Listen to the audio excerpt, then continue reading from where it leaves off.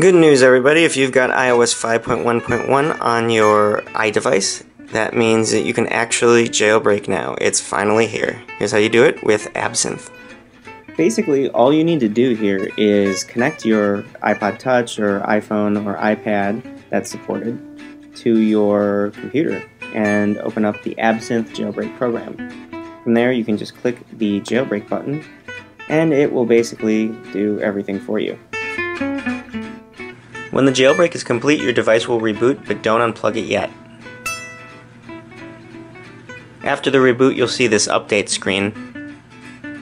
When it's finished, you'll be jailbroken. When you're all done, you just have to find Cydia on your device, which you can just do by searching if you have a lot of apps to look through.